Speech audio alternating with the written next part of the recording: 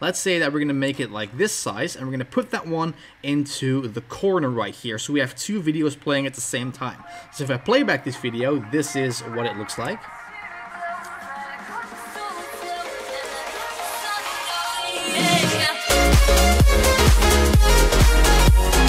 What's happening guys, my name is Alex, welcome back to a brand new Vegas Pro 15 tutorial and in this video I'm gonna show you guys something really really cool that you guys are probably gonna use in the future because it is a technique to, to edit gameplays, to add a face cam to your gameplay, anything like that. So make sure to smash that like button down below. I would say let's get started. So as you can see right now, in this video I'm going to show you guys, as you guys have seen in the title and in the, th in the thumbnail, how to create a picture-in-picture -picture effect. So that means that one video is playing or one photo is shown and you have something else along the screen or multiple ones in the screen. You guys just have to see that, what you know what I mean. So what we're going to do first of all is we're going to drag in as many clips as we like. I'm going to use two because you can use two, you can use three, four, anything like that. So a picture-in-picture -picture is, like I said, a video or a photo and then something else along the screen. So what we're going to do first of all to make that effect is we're going to go ahead and drag in our footage. We're going to create a new video track. Well, we're going to do that first before we're going to do go into the track motion stuff. We're going to go ahead and drag our second clip that we want to have, you know, uh, as a picture-in-picture effect. What we're going to do is we're going to go ahead and put our cursor uh, over the second clip.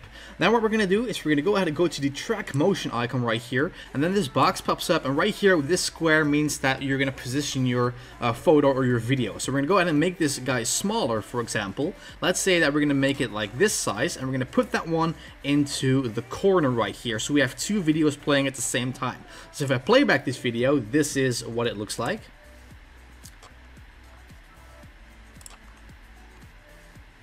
As you can see right now, this is how you create a picture-in-picture -picture effect. And let's say that you want to have multiple videos playing at the same time. What we're going to do is we're going to go ahead and go back to the track motion icon, right-click, restore box, and we're going to go ahead and make this guy pretty, pretty small. And we're going to position it right here.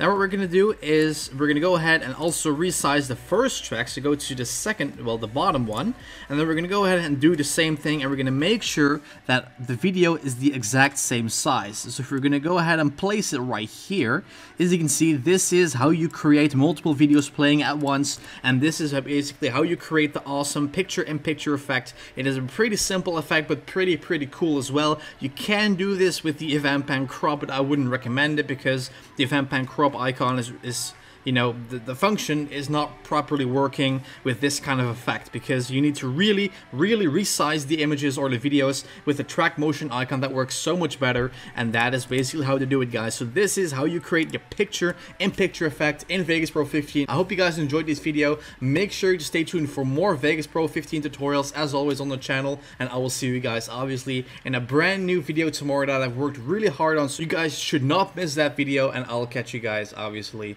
in tomorrow tomorrow's video.